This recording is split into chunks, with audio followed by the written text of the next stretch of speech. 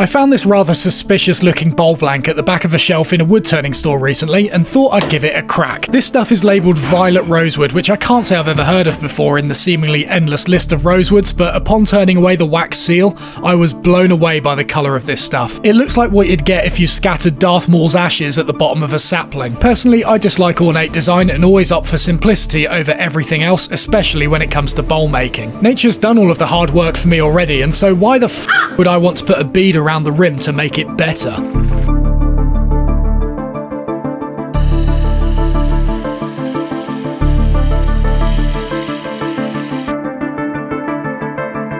I decided to coat this in a new finish I've been enjoying recently called Object Oil. I saw this stuff demoed last year in Australia when it was able to soak into their incredibly dense timbers with ease, and so I figured this would be the best bet for a dense, oily timber like this, and I wasn't wrong. Just look at that colour.